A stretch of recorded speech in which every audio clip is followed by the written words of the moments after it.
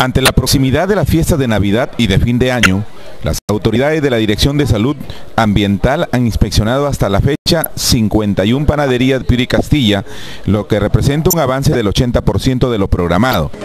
Un registro sanitario, cualquier panadería, yo soy panadero, no puedo hacer mi panetón porque se me ocurrió, ¿no? Hacer mi panetón y lo hago, aunque lo haga en buenas condiciones, yo tengo que pedir una autorización, un registro sanitario, tengo que venir a salud ambiental y tengo que... Nosotros como, como salud ambiental, lamentablemente todavía no lo tenemos implementado y tenemos que enviar el código para ser emitido por Lima.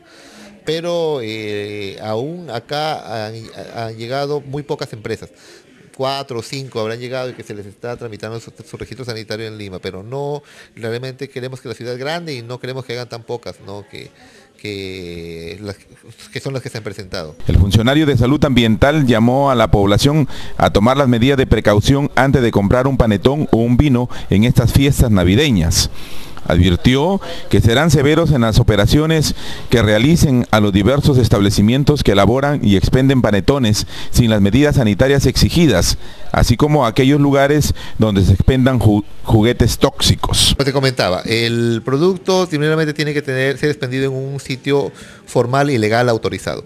no solamente hay que ver el panetón Lógicamente, si la persona quiere ahorrarse un céntimo y lo va a comprar en, el, un ambulante, no tiene ninguna garantía y se puede intoxicar y morir.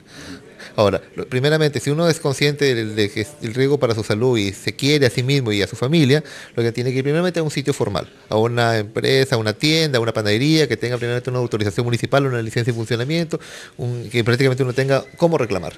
¿no? Segundo lugar, tiene que verificar el, el íntegro del envase si es una caja, si es una lata, si es una, si es una, una bolsa, ¿no? Primeramente tiene que estar totalmente sellado. Durante la inspección del personal de salud ambiental se han recibido 12 muestras de panetones para verificar si tienen compuestos tóxicos como el bromato.